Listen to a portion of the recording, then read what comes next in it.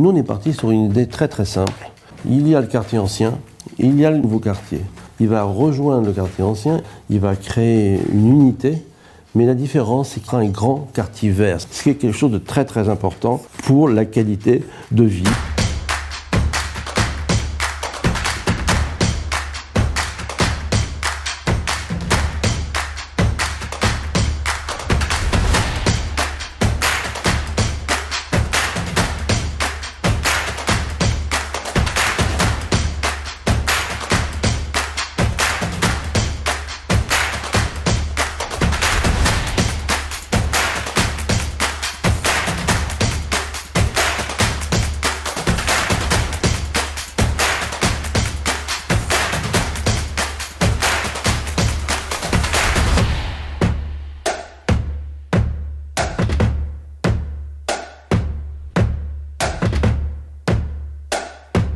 Wintoki est très heureux de participer au projet Berceau d'essence à Saint-Germain-en-Laye pour y proposer une halle gastronomique qui selon nous est un endroit idéal en complémentarité des commerçants du centre-ville de Saint-Germain-en-Laye qui sont aujourd'hui très forts et qui proposent une offre très pertinente.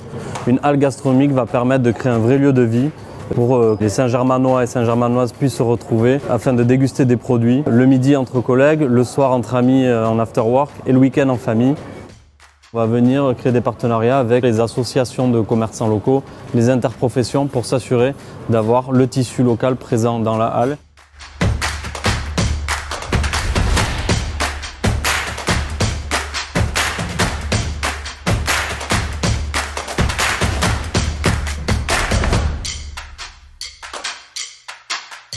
Je suis actuellement marraine Santé-vous Sport. C'est une démarche nationale de promotion du sport pour tous. Le pôle Sport Santé regroupe des plateaux sportifs que j'ai contribué à sélectionner. Ils conviendront tant aux sportifs de haut niveau qu'aux sportifs occasionnels. Ils seront aussi destinés aux patients atteints de pathologies longue durée, souhaitant une vraie démarche de guérison par le sport. Le pôle sera en pleine synergie avec les acteurs santé locaux, les associations, les écoles de Saint-Germain et les clubs sportifs. Il aura vocation à créer plus d'une centaine d'emplois.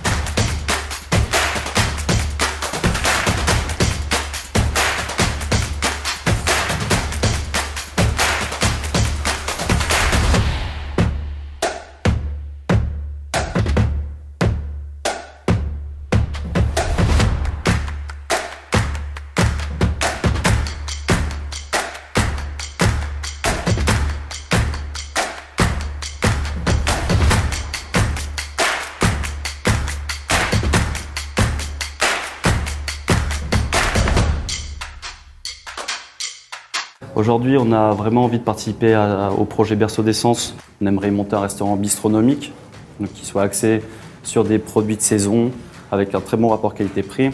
On aimerait avoir une distinction Guide Michelin qui s'appelle le Bib Gourmand, justement, qui récompense ce rapport qualité-prix.